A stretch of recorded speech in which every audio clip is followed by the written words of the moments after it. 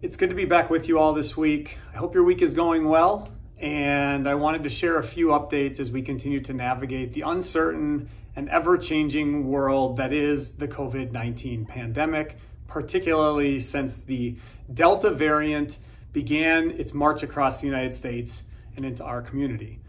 As you no doubt are aware, we have seen significant upticks in cases of individuals with COVID over the past week. We are up 33% on our rolling 14 day average from where we had been.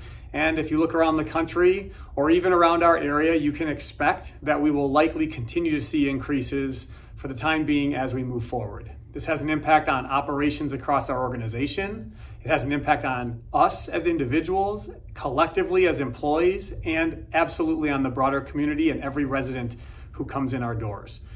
I first want to say thank you as the county board chose to reinstitute a mask mandate for all employees and visitors to county properties that went into effect last week. I know it's frustrating to take steps backwards during this time after we had had a mandate in place and then we're able to move away from it.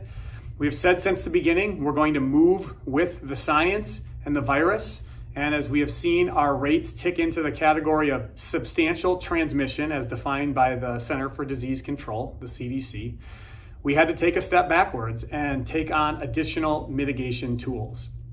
During last week's conversation on vaccine, or excuse me, on masks, the county board also raised the issue of vaccines, saying they wanted to see a more robust proposal come forward to ensure we are using every available tool to keep every employee and resident in our community safe. As an organization, we spent the last week working together to begin the foundational steps in a long process of putting together an approach that would use vaccines alongside masks as tools in our organization. Technically, it would put vaccines and testing alongside masks as the official tools in our organization. I'm sure you've read some of this or you may have heard some of this. And so, first, what I want to say is today was not about asking the county board to vote on anything, but to discuss the proposal in front of them as a step in the process. That today, the proposal that was shared outlined a path by which masks will remain in use as current. And then, alongside that, on the vaccine front, moving forward, we are looking at policies that would be similar or mirror the federal government policy policies you started to see roll out on a statewide level in certain spots around the country and at many large corporations around the country in which it is required that an employee either disclose that they have been vaccinated or subject to weekly testing to show a negative COVID test result as a part of that process. As we work to implement um, this approach and begin our work with all of you as employees and with our labor partners and many important stakeholders in this process, we know there are a lot of places in which we have to be thoughtful. The most important thing I know is that we start from a place of assuming good intent for our employees, assuming they too want to stay safe, be safe, and keep others safe. We also know that we start from a place where we assume our employees will do the right thing. All that being said, we are living in a world right now where we live in the dark. I can't tell you today what percentage of our employees are vaccinated. And many of you have reached out and expressed concerns about understanding that as a part of how can you ensure me that this is a safe workplace. Others have clearly reached out with concerns about any step forward in terms of vaccines and recognizing that we remain under an emergency youth use authorization at this time. I want to acknowledge those concerns. I want to acknowledge hearing them. And I also want to note that it's important that we consider all of those pieces as we move forward. The piece of using vaccines as a tool has a strong grounding in public health that it makes a difference in protecting you and others, and that it is not at the same time a panacea on its own. And so I just want to make sure that I acknowledge to all of you we, we are working on masks, we are working on vaccines, and since the beginning, we have said we're going to follow public health advice. We're going to trust those who have spent their lives and dedicated their lives to this field. We're going to do what we can as an organization to support every employee. And while the idea of vaccines and asking to provide information on vaccination will be foreign to many of us in this organization. It is not for everyone. We have had many employees for many years in specific areas of work who have already been asked to take similar steps as a part of their day to day profession. Which shows that in some ways this is a unique circumstance, and in other ways this is unique for some of us and more a course of business for others.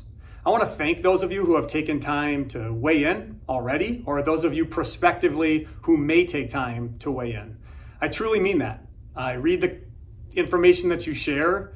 I try hard to think about it all seriously, and not just me, but the entire team of individuals working with the county board who I know also care greatly about our employees and the work that we all do. Ultimately, the safety of every employee comes to the top of that list. And there's nothing worse than writing a message to an organization that is impacted by the loss of someone who has worked here due to COVID 19. And I know that we all have had to grieve together over this last year through moments like that. Finally, the idea of reimagining Ramsey County workplaces and flexible work and how this all ties into the broader conversations is important. So let me put this out there as we move toward next week. There's a board workshop next Tuesday to talk about the findings from the survey on the flexible work policy and what it means going forward.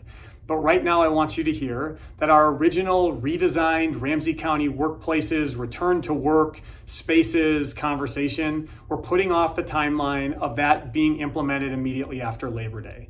Please do not assume that anyone will be asked to come to work in a new capacity other than their current status of how they are doing work beginning immediately after Labor Day. We're going to hit pause. We're going to lay out a more concrete timeline. And next week, with the board discussion being the final step along that process, I'll be sure to get more information out to all of you. But clearly, while we sit in a substantial and high risk category, there is more we need to do than masks and conversations around vaccine and testing. We also must take steps to think about how to keep space between one another to truly protect people in every way possible. I sincerely thank you for working here.